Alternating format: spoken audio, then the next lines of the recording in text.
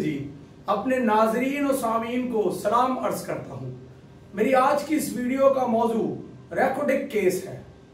मुझे उम्मीद है कि मेरी ये वीडियो भी आपको मेरी बाकी तमाम वीडियोस की तरह पसंद आएगी।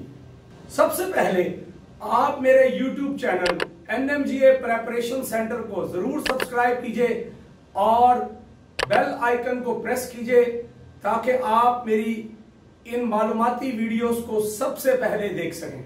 मैं अपनी इस वीडियो के आगाज़ में कहूँगा कि कौमी असासों का गलत इस्तेमाल और उसकी हिफाजत न करना किसी भी कौम के लिए जहर कातल है। रेकोडिक, सूबा बलोचिस्तान के जिला चागी का एक छोटा सा कस्बा है। यह कस्बा पाकिस्तान की अफ़गानिस्तान और ईरान की सरहदों के करीब वाक़ है। रेकोडिक का मतलब बलोची जबान में रेतली चोटी होता है। और ये कदीम आतिफ शाह का नाम भी है। रेकोडिक का इलाका अपने सोने और कापर के जखायर के लिए मशहूर है और इसे दुनिया का पांचवा बड़ा सोने का जखीरा समझा जाता है। रेकोडिक में जखायर की दरियाफ्त सन उन्नीस सौ तिरानवे में एक ऑस्ट्रेलियन कंपनी बीएचपी यानी ब्रोकन हिल प्रोपराइटरी ने शुरू की। इस कंपनी का बलोचिस्तान की गवर्नमेंट से मुहिदा था। मुहिदे के मुताबिक इस प्रोजेक्ट में पिछहत्तर फ़ीसद शेयर बीएचपी का था और बाकी 25 फ़ीसद शेयर गवर्नमेंट का था। इसके अलावा गवर्नमेंट की रॉयल्टी दो फ़ीसद थी। रॉयल्टी से मुराद किसी की मलकियत या किसी के एहसासे को इस्तेमाल करके उसका मुनाफा वगैरह देना होता है। ये बात काबिल ज़िक्र है कि पूरी दुनिया में कॉपर की कच दाद पर रॉयल्टी तीन से पाँच फ़ीसद होती है। मसलन इंडिया में रॉयल्टी रेट चार अशारिया दो फ़ीसद है। अप्रैल 2000 में बीएचपी ने अपनी खोज या दरियाफ्त का काम बंद कर दिया और अपनी ज़िम्मेदारी एक छोटी सी ऑस्ट्रेलियन कंपनी मिनकोर को दे दी। ये गवर्नमेंट की ना हिली थी कि उसने इस प्रोजेक्ट के लिए नई ऑफर्स को तलाश करने की बजाय ये सब होने दिया।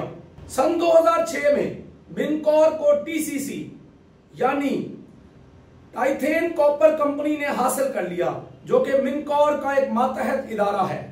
इस ट्रांसफ़र को बलोचिस्तान हाई कोर्ट में चैलेंज किया गया, लेकिन हाई कोर्ट ने इसे कानूनी करार देकर इस चैलेंज को खारिज कर दिया। सन 2007 में टीसीसी ने गवर्नमेंट के साथ कानकनी के मुहिदे के बाद काम शुरू किया और सन 2010 में एक फिजिबिलिटी रिपोर्ट तैयार कर ली। फरवरी सन 2011 में टीसीसी ने कानकनी के लिए एक लीज की दरखास्त जमा कराई जिसे बलूचिस्तान गवर्नमेंट ने नवंबर 2011 में मुस्तरद कर दिया। 12 जनवरी सन 2012 में टीसीसी ये मामला आईसीएसआईडी यानी International Centre for Settlement of Investment Disputes यानी सरमाकारी तनाजे को हल करने के लिए कायम बैन अवी सेंटर में ले गई और तकरीबन ग्यारह पाँच बिलियन डॉलर के हरजाने की दरखास्त की। ये सेंटर वर्ल्ड बैंक ग्रुप की पाँच तंजीमों में से एक है।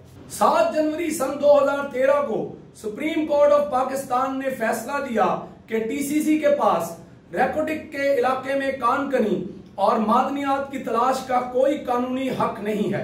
सन 2017 में आलमी सेंटर ने पाकिस्तानी गवर्नमेंट के खिलाफ फैसला दिया और जुलाई सन 2019 में इसे 6 बिलियन डॉलर जुर्माना अदा करने का कहा गया। पाकिस्तान ने इस फैसले को नवंबर 2019 में चैलेंज कर दिया। अब 16 सितंबर सन 2020 को ट्राइब्यूनल ने इस जुर्माने की अदायगी पर पाकिस्तान को छह माह के लिए स्टे दे दिया है। लेकिन तकरीबन एक बिलियन डॉलर की किसी गैर मुल्की बैंक की गारंटी दरकार है। ये स्टे पाकिस्तान के लिए एक बहुत बड़ी रिलीफ है और इसकी कानूनी टीम की एक फतह है। इस स्टे की अहमियत का अंदाज़ा इस बात से लगाया जा सकता है कि हाल ही में आईएमएफ की तरफ़ से दिया गया बेल आउट पैकेज यानी फराहम किया गया कर्जा भी छह अरब डॉलर ही है, जो जुर्माने की रकम के बराबर है। अब रेकुडिक केस की इस सेंटर में फाइनल सुनवाई मई 2021 में होगी, जिसमें उम्मीद है कि फतह पाकिस्तान की होगी। अल्लाह पाकिस्तान को महफूज रखे। आमीन। अगर आप सबको मेरी ये वीडियो पसंद आई है तो इसे ज़रूर लाइक और शेयर कीजिए। खुदा हाफिज़।